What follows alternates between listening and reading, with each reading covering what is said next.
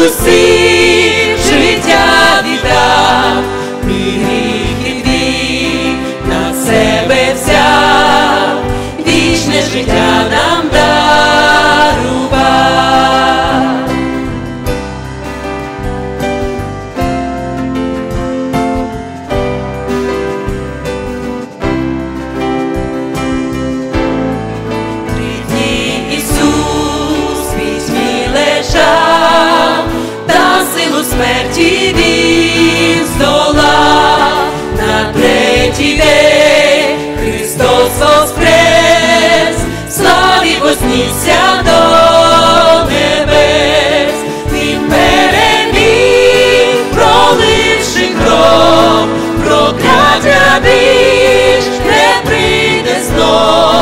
бо я його, а є мій, сила і щит душі мої, він переміг, проливши кров, прокляття більш не прийде знов, бо я його,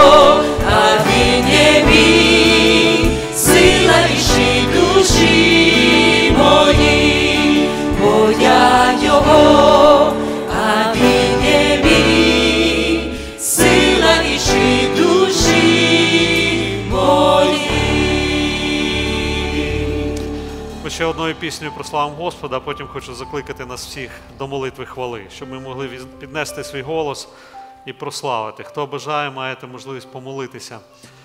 Прославляйте Господа. Я звертаю зараз до всіх, і до молоді, і до старших. Е, Старшим людям завжди легко молитись публічно, в них великий життєвий досвід. Але Слово Боже закликає нас, в першу чергу чоловіків, підносити голоси в хвалі і в молитвах. Браття, я вас закликаю, моліться до Господа, прославляйте його. Ми зараз заспіваємо ще один псалом, будемо разом молитися. І ось цю молитву загальноцерковну я хочу попросити, щоб завершив наш гість, пастор Ярослав Троць, який в нас е, в гостях сьогодні з Луцька приїхав. І сьогодні він буде проповідувати, е, ділитись Словом Божим. Тому давайте зараз заспіваємо пісню, потім будемо мати молитву і роздуми над Словом Божим. Я схилюсь у мольбі, у підніжжя Христа, та милість дана. Там прокляття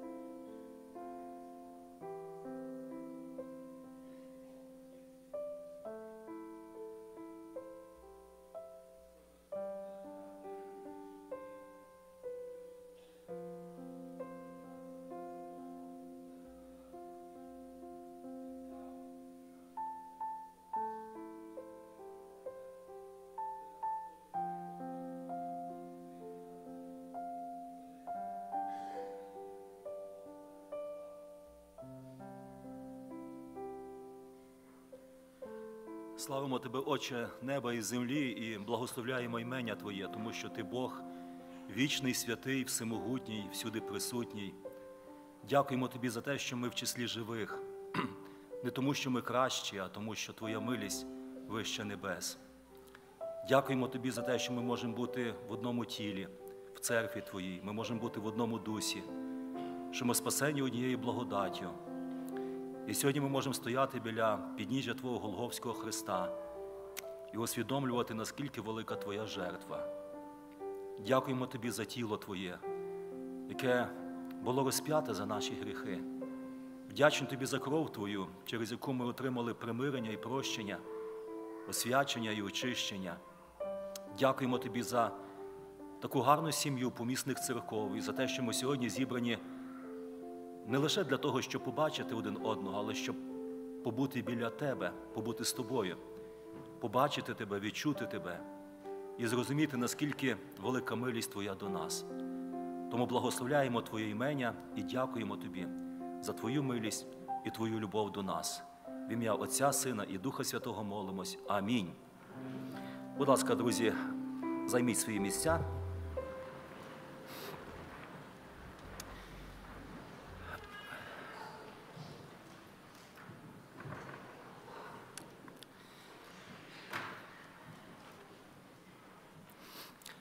Дуже дякую Богу, друзі, що сьогодні, недільного дня, будучи в числі живих, ми можемо бути в домі Господньому. Не знаю, наскільки ви це усвідомлюєте, але коли почалося в нас таке широкомасштабне вторгнення в Україні, і коли ми просиналися під час повітряних тривог, коли ми засинали, коли ми кожного дня не знали, що буде завтра, ми навчилися цінувати кожен ранок і кожен вечір. Я думаю, що люди, які приїхали сюди е, з України, більшості, правда, ви навчилися цінувати свою батьківщину, свою помісну церкву, де ви народилися, де ви зростали, можливо, невеличке село, невеличку якусь сільську церкву, і ми, ми цінуємо цим. Але сьогодні в центрі нашої уваги, друзі, не наше минуле. Сьогодні в центрі нашої уваги не люди, які нам подобаються або, можливо, нам не подобаються. Сьогодні в центрі нашої уваги має бути той, який дав нам можливість бути разом. Це Ісус Христос. Я дуже дякую Богу, що сьогодні можу бути з вами не в якийсь інший день, а саме тоді, коли ми згадуємо смерть і страждання Ісуса Христа. Слухайте, в першому столітті, коли Ісус Христос помер, і коли Він воскрес, і коли Він вознісся, то християни в першому столітті вони кожного дня перебували в храмі, вони ламали хліб по домах, і для них це було дуже важливо. Ми сьогодні, можливо, навіть раз в місяць не завжди можемо прийти, щоб згадати того, хто заплатив за нас велику ціну. Тому я сьогодні тішуся, що я можу бачити моїх братів і сестер, які раніше приїхали, які недавно приїхали, які, можливо, щойно приїхали. Але я хотів би, щоб ми зараз могли не просто побачити один одного, але ми могли побачити того, хто зробив нас однією сім'єю. Коли в Україні гинуть військові, то їхні родичі вони хочуть знати останні, останні хвилини життя свого чоловіка, батька, сина. І дуже часто вони кажуть, розкажіть нам, а що це було, як це було. Ми хочемо знати, можливо, останні слова нашого рідного. Ми хочемо знати, про що він говорив, про що він просив, про що він думав. Я хотів би, друзі, щоб ми сьогодні могли зачитати історію. Це невеличкий, можливо, огляд судового процесу, коли осудили нашого Господа Ісуса Христа. І я свідомо хочу зачитати абсолютно той текст, про який сьогодні ми будемо роздумувати. Я знаю, що ви вивчаєте Євангелію від Луки. І для того, щоб десь не відходячи від вивчення Божого Слова, я пропоную усім нам, щоб ми відкрили Євангелію Луки, 23 розділ, і щоб ми зачитали з першого віршу. Хто має свою власну Біблію, краще слідкувати по своїй Біблії. Хто не має можливості, будь ласка, ви можете читати разом зі мною. Ми читаємо опис судового процесу нашого Господа і Ісуса Христа перед тим, як його розп'яли. І знялися всі їхні збори і повели до Пилата його, і почали оскаржувати його і говорити. Ми ствердили, що цей ворохобить народ наш і забороняє податок давати кесареві, та й говорить, що він Христос цар. А Пилат запитав його, кажучи, чи ти цар юдейський? А він відказав йому у відповідь: Сам ти кажеш. І Пилат сказав первосвященникам та до народу: Я не знаходжу жодної провини в цій людині. А вони намагалися, говорячи, він бунтує народ, навчаючи в усій юдеї від Галілеї, почавши аж досі. І Пилат, почувши про Галілею, спитав, хіба він галилеянин?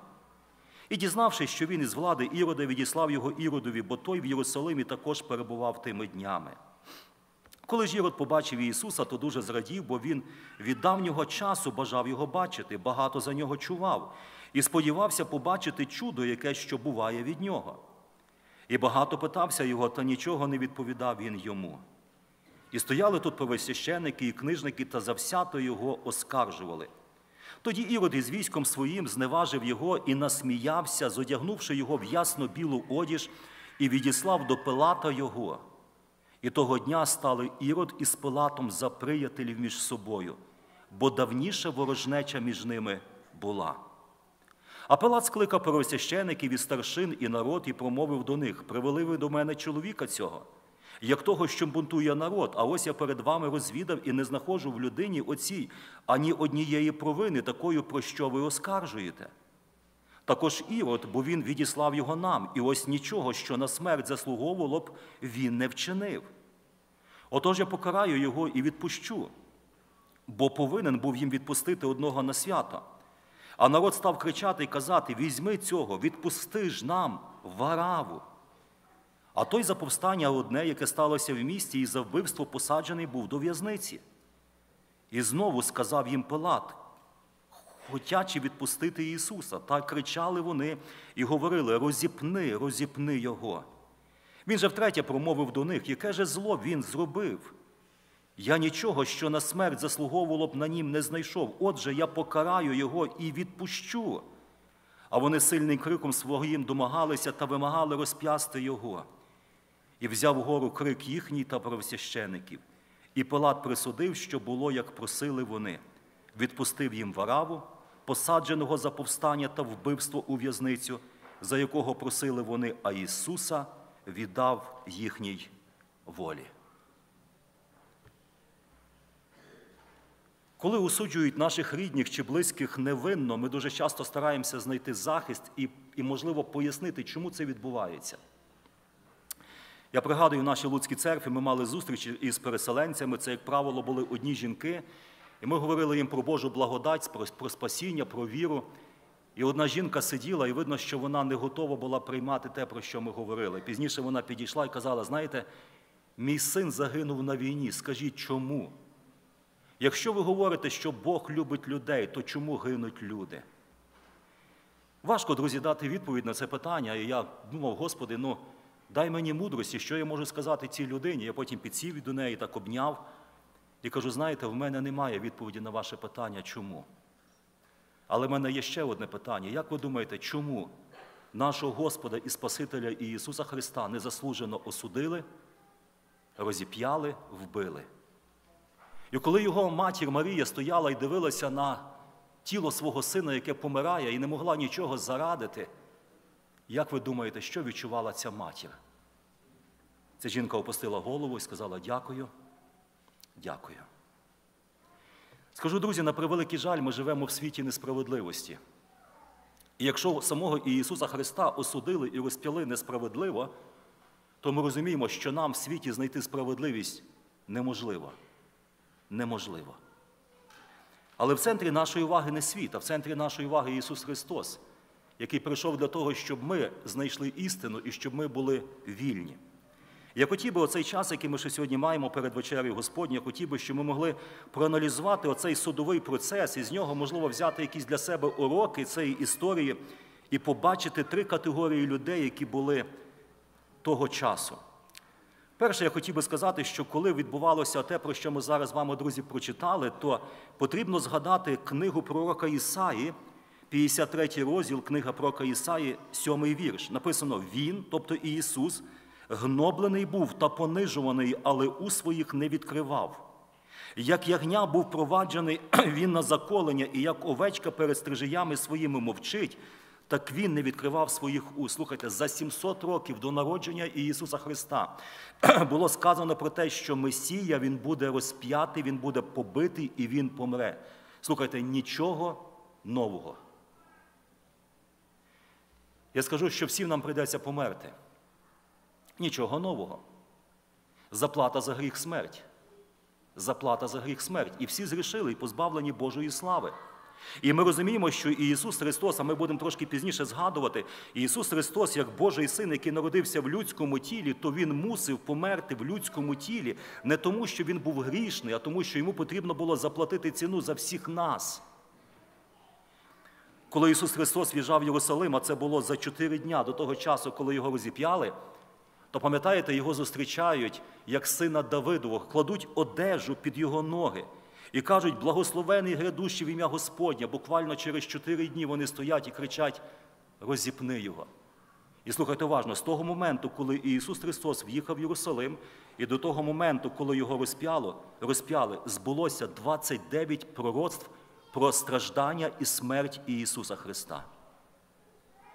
Ви думаєте, час, в який ми живемо, про це Біблія не говорить? Ви думаєте, час, в який ми живемо, про це Біблія мовчить? Ні.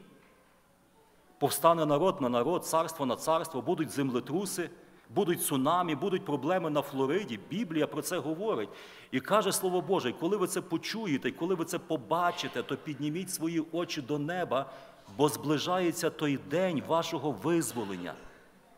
Тому, друзі, сьогодні, коли ми згадуємо смерть і страждання Ісуса Христа, слухайте, це наше визволення, тому що ті, які мають участь в Воскресінні першому, друга смерть, тобто пекло над ними, влади немає. Коли Ісуса Христа арештували в Гефсиманії, і до того моменту, коли його розп'яли, в житті Ісуса відбулося шість судів. Шість судів. Спочатку його судили релігійні люди, це був суд в Анни. Ми пізніше трошки про це поговоримо. Потім Анна його відправив до Каяфи, це був первосвященик. Потім ми знаємо, що був суд в Синедріоні, коли Ісуса Христа судили і зібрали неправдиві свідчення. Потім його привели до Пилата. Пилат відправив до Ірода. Ірод назад повернув його до Пилата. Буквально за один вечір і одну ніч Ісуса Христа осудили шість неправдивих судів. Із тих людей, які осуджували Ісуса Христа, ми можемо побачити три категорії людей. Перша категорія це були люди релігійного світу. Це були люди, які мусили знати про Бога. Це люди, які досліджували Боже Слово. Слухайте, це люди, які носили на собі священицьку одежу. Я скажу, сьогодні ми живемо в світі, на превеликий жаль, де є релігійні люди, які похваляють вбивство, які захищають війну, які благословляють людей на вбивство.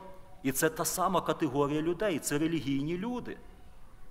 І знаєте, коли ми дивимося на отих людей, священиків, то Ісус Христос пізніше, коли вже Він був в Каяфа, і коли підійшов один службовець з охорони і вдарив його, нашого Ісуса.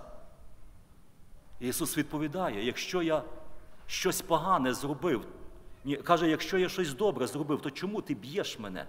Я ж не зробив нічого поганого. Тому, друзі, нічого нового. Релігійний суд.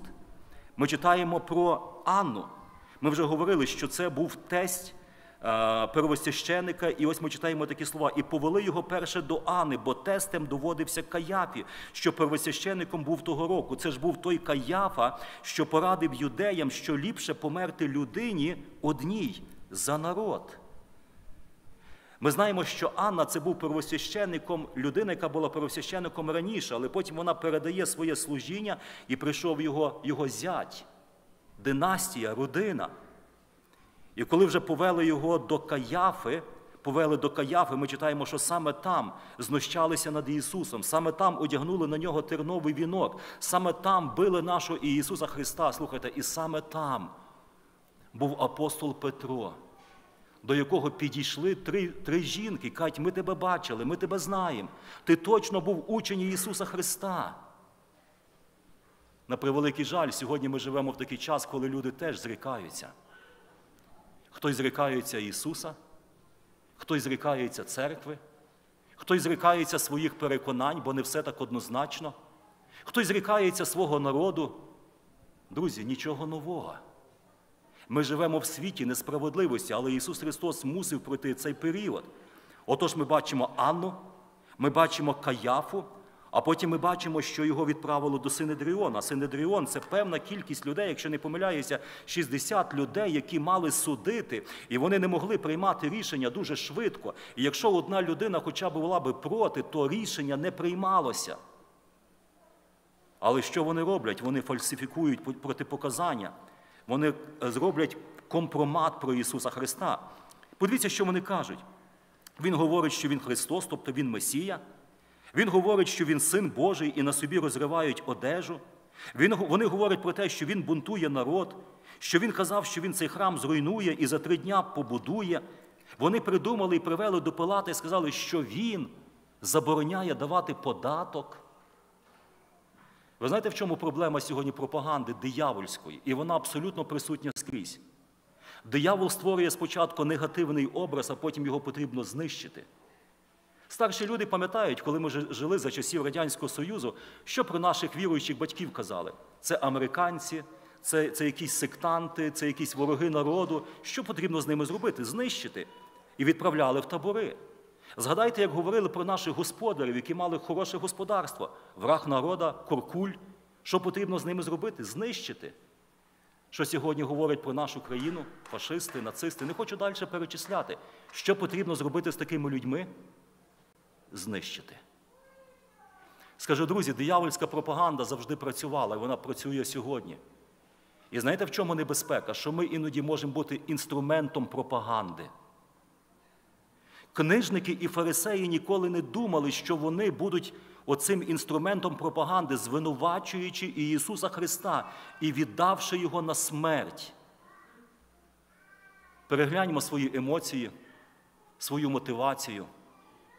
Як дуже часто ми шукаємо компромати один проти одного, я це як служитель знаю на собі.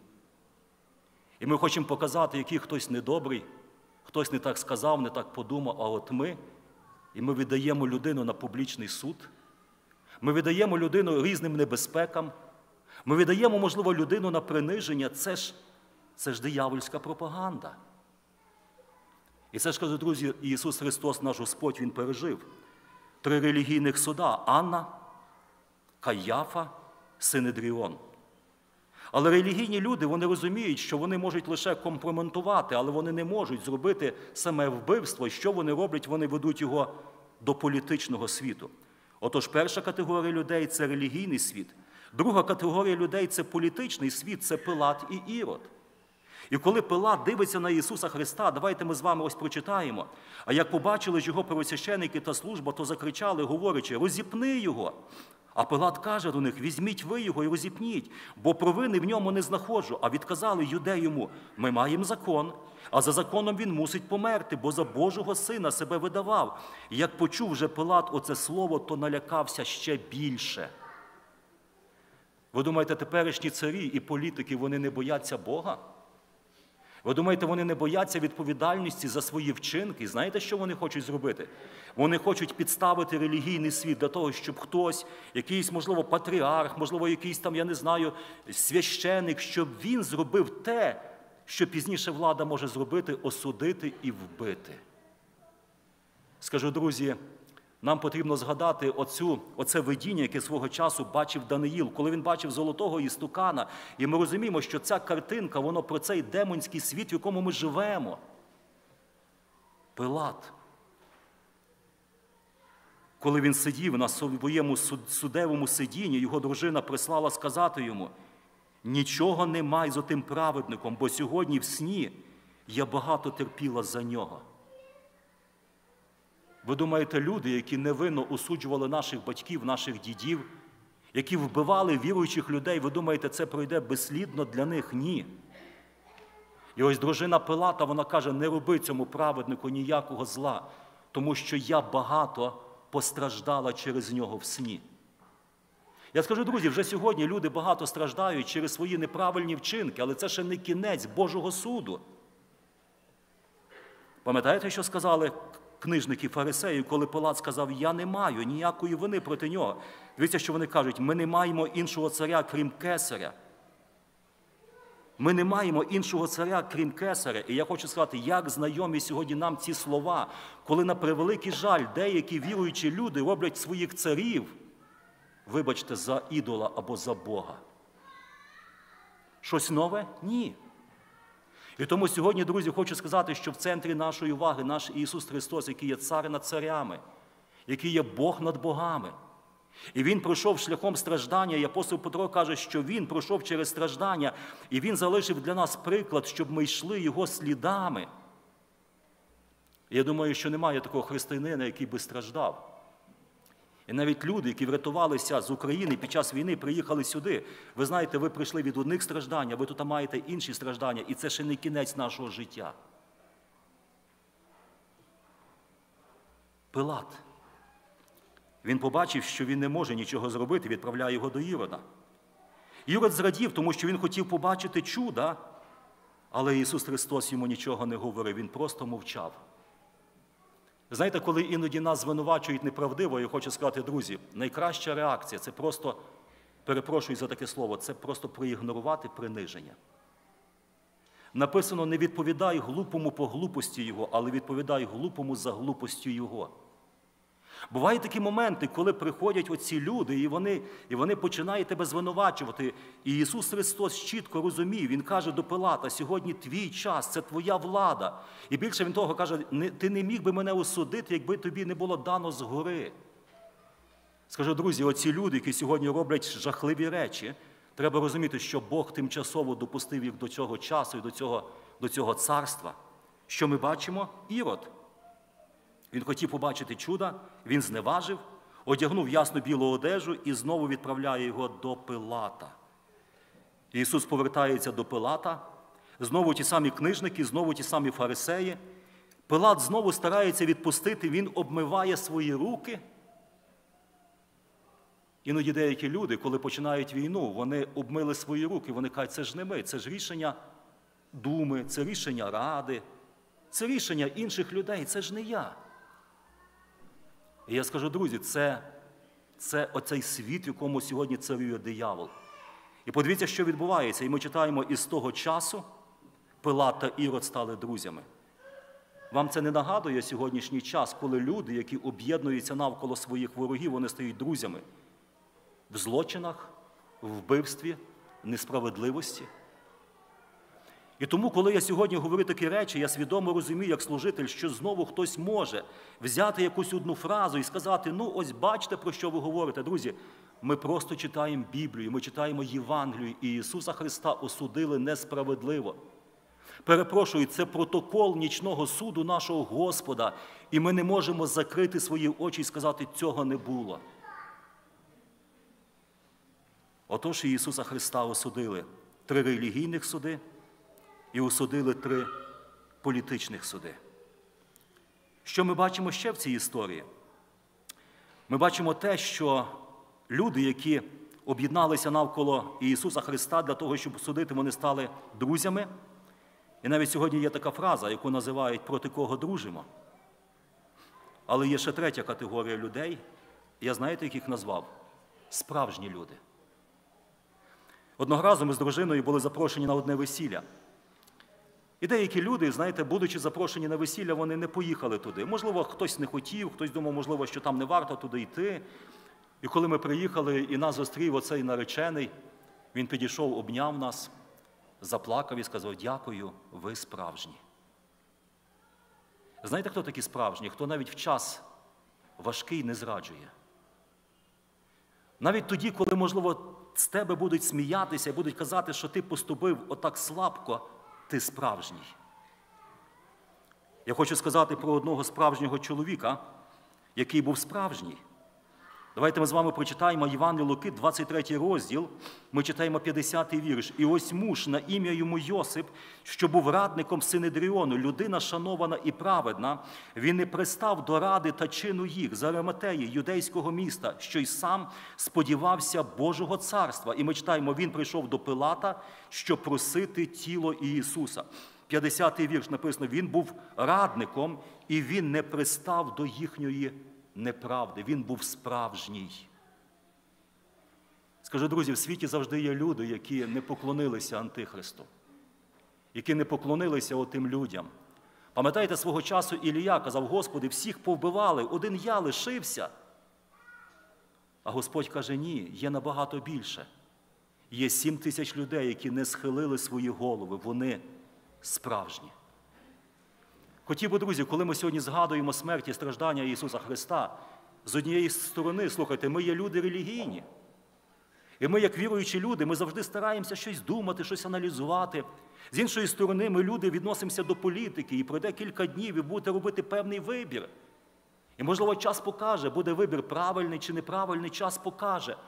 Але слухайте уважно, незалежно від того, які обставини складаються в нашому житті, нам потрібно бути справжнім справжнім послідовником Ісуса Христа.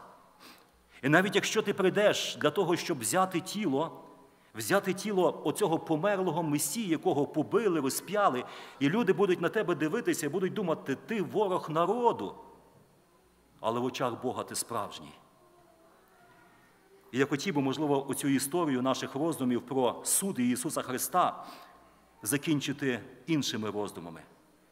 Слухайте, Ісуса Христа не просто осудили як бунтаря, його не просто розіп'яли як того, хто приписував собі божественність. Слухайте уважно, смерть Ісуса Христа, вона була запланована.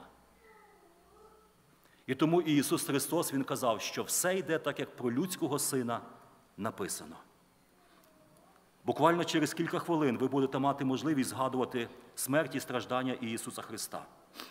І коли ми читаємо катехізис, там написано так: для постійного нагадування про жертву і смерть Христа, про користь, що ми від неї маємо, ми звершуємо таїнство вечері Господньої.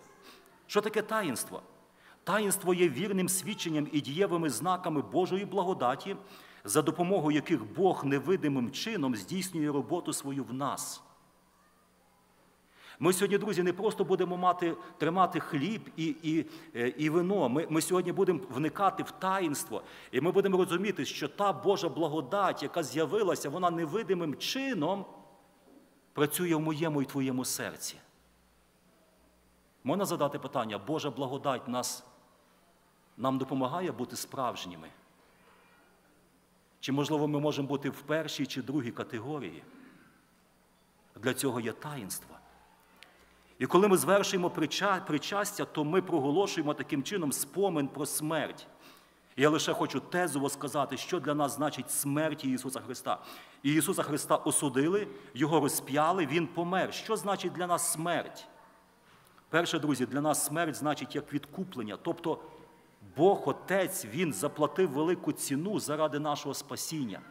І апостол Петро каже: знайте, що не тлінним сріблом чи золотом ви були відкуплені від марнотного життя, але дорогоцінною кров'ю Ісуса Христа. Перше, смерть це відкуплення. Сьогодні багато людей, які, скажу так, виїжджають з України різними шляхами, вони стараються, можливо, якимось чином заплатити ціну. Не здогадуйтесь яку, але кожна людина платить ціну. Слухайте уважно, за наше спасіння була заплачена велика ціна. Смерть Ісуса це відкуплення. Друге, я хочу сказати, що смерть Ісуса це умилостивлення або вблагання. І ми читаємо такі слова, тому мусив він бути подібним до своїх братів, що стати милостивим та вірним первосвященником у Божих справах. Слухайте, за вблагання або для вблагання за гріхи людей. Іншими словами, коли Ісус Христос помирав, то Його смерть це було вблагання. І коли Бог Отець дивиться на мене, грішника, то Він не дивиться через мої неправильні вчинки, а Він дивиться на мене через кров Ісуса Христа. Ми можемо казати своїй дружині, своєму чоловікові, ти не такий, ти не така, своїм дітям, своєму пастору, іншим людям. Слухайте уважно, Бог на мене не дивиться через призму культури або традиції, Бог на мене дивиться через призму жертви Ісуса Христа. Ти Божа дитина. Смерть Ісуса Христа це не тільки викуплення, це не тільки вблагання, це є примирення. І ми читаємо, бо вгодно було, щоб у ньому перебувала вся повнота, і щоб ним поєднати з собою все, примиривши кров'ю Його через нього, чи то земне, чи то небесне. І написано, і вас, які колись були ворогами, думками, примирилися з Богом через смерть Сина Його і Ісуса Христа. Я скажу, друзі, смерть наших, наших земляків, смерть наших співвітчизників, вона, можливо, на десятки років вона розділить народи. Смерті Ісуса Христа. Вона дала примирення. І людським розумом це осягнути важко. Але це правда.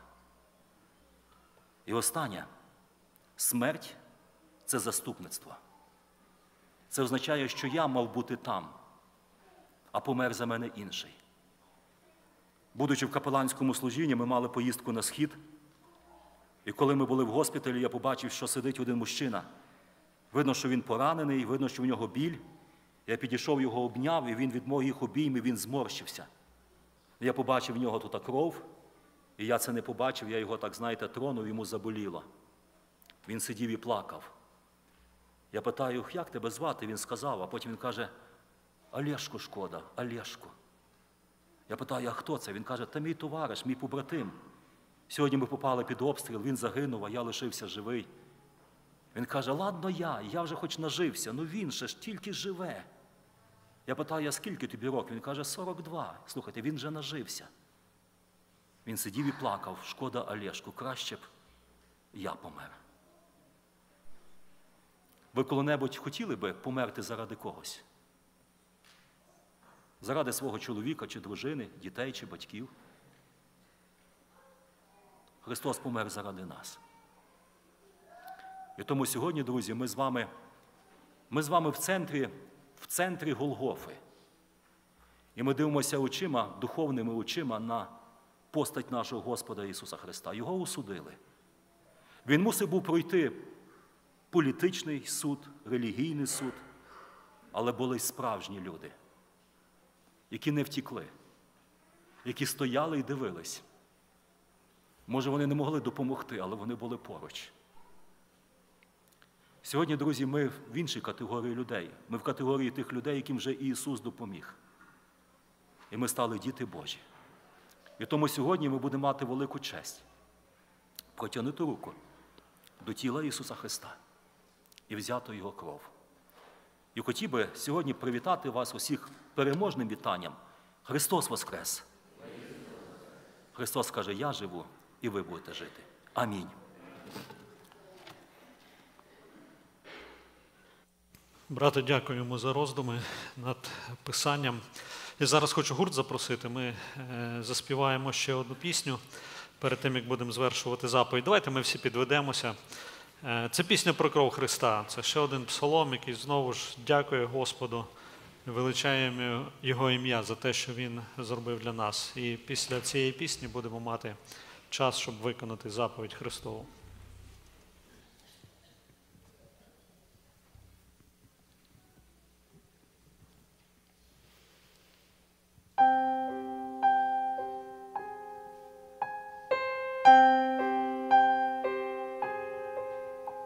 У стражданнях і тузі наш Господь був на хресті, Він поніс туди всі болі і гріхи. Він предвічний і святий, всіх людей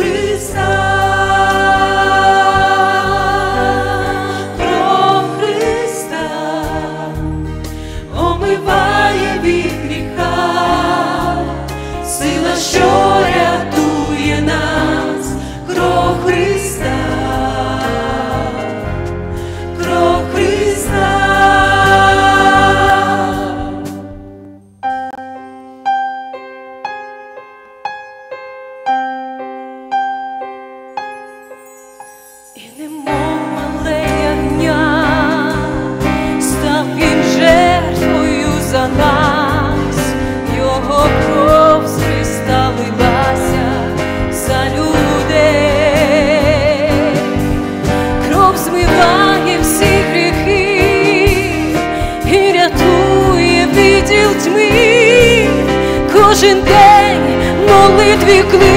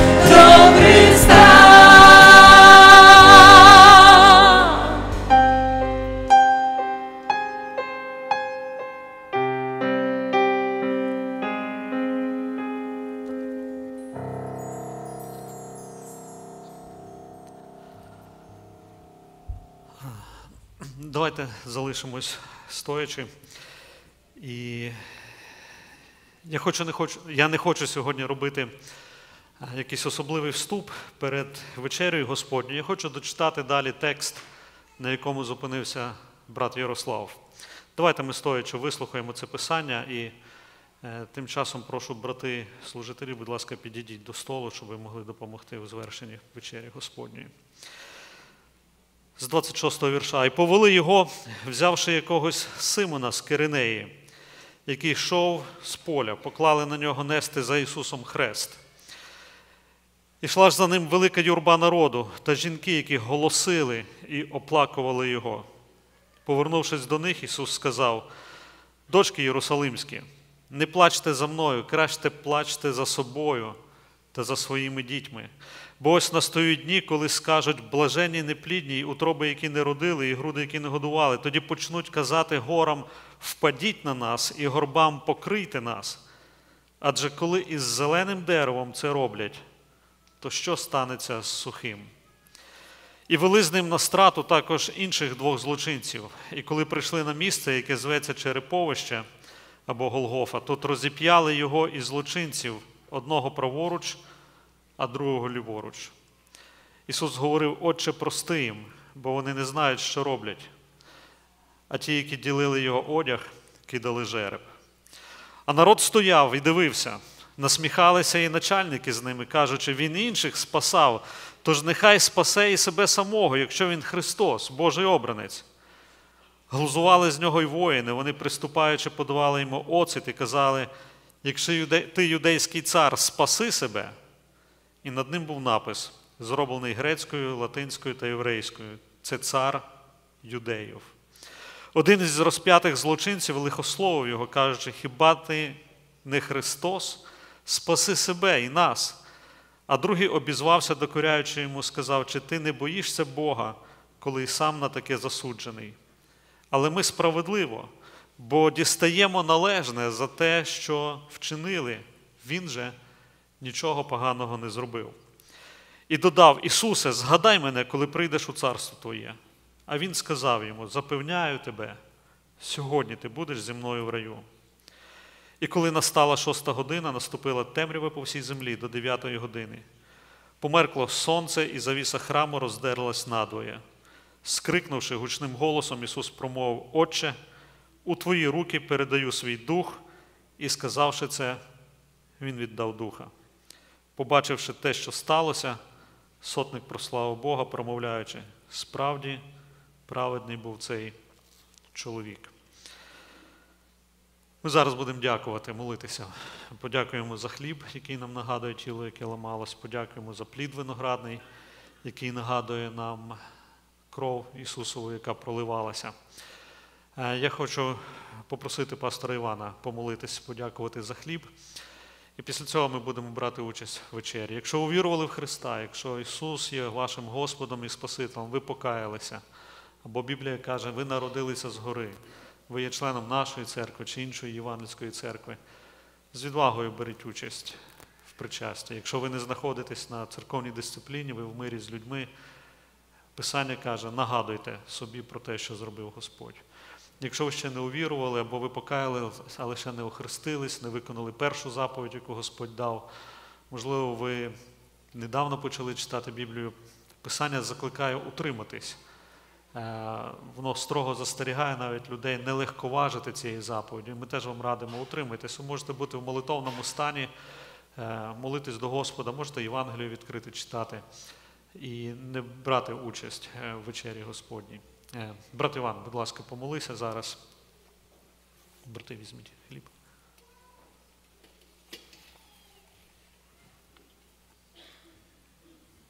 Father, we thank you for Christ's sacrifice, his sacrifice for my sin, uh, his sacrifice uh, for the church's sin.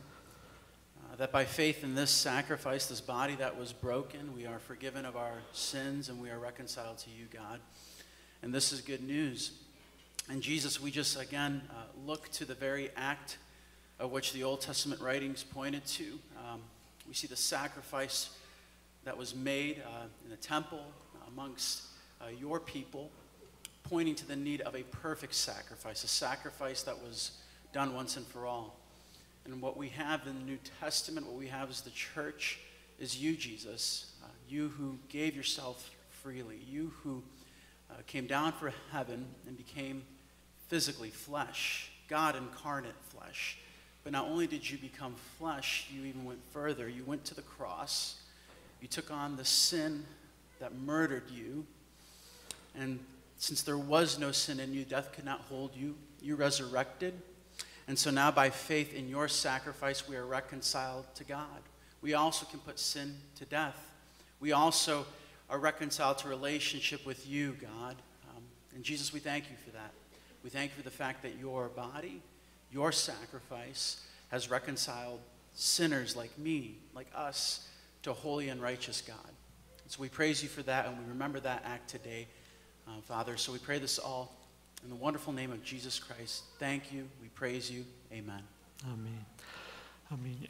Якщо ви берете участь, будь ласка, залиштесь стоячи, якщо ні, можете зайняти ваше місце. Е, Буде звучати мелодія, і брати зараз між рядами пронесуть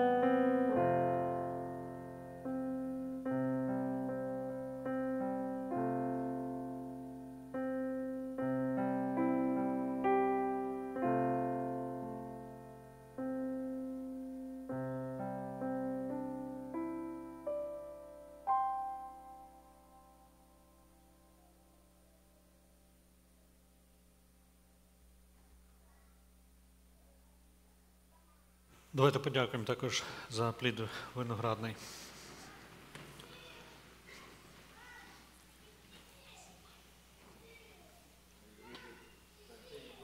Я хотів би, щоб на декілька секунд ми змалювали картину в своєму розумі, від чого нас очистив Христос. Ми були в болоті гріха, ми були в болоті смердючі, вонючі. Він очищає нас. І ми є дітьми Його, ми є святими людьми.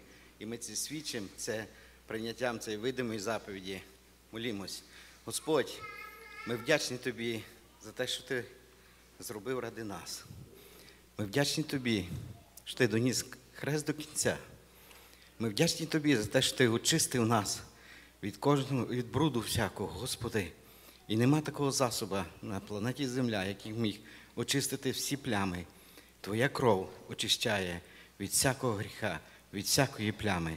Вдячні тобі за спасіння. Вдячні за те, що удостоїв нас протягнути руку до цієї видимої заповіді. Благословляємо ім'я Твоє, величаємо Тебе. Амінь. Амінь. Такий самий порядок відносно чаші. Якщо ви берете участь, будь ласка, залиштесь стояти. Якщо ні, то можете зайняти ваше місце.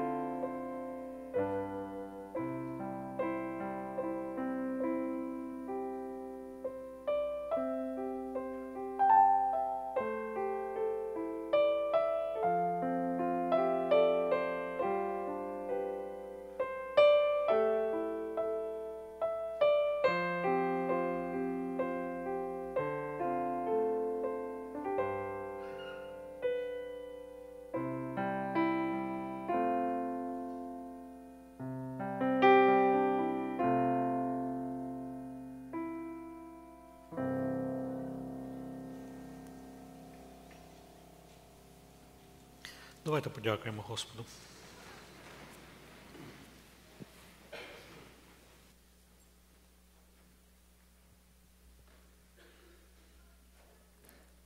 Господь наш Батько Небесний, ми приходимо сьогодні до Тебе з подякою за те, що Ти, не маючи потреби в нас, Ти створив нас людей, Господь. І навіть після того, як ми від- відвернулись від Тебе, як ми збунтувалися проти Тебе, замість того, щоб справедливо знищити нас, Ти, ти проявив надзвичайну любов до нас і дав нам можливість мати спасіння.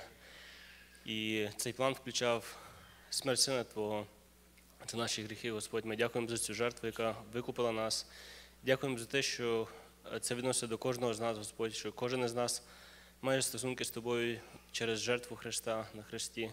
Ми дякуємо за це і дякуємо тобі за те, що ти залишив заповідь цю, що ми можемо згадувати те, що ти зробив для нашого виправдання, для нашого спасіння і для того, щоб мати з, нас, з нами відносини, Господь. Дякуємо тобі за це. Амінь.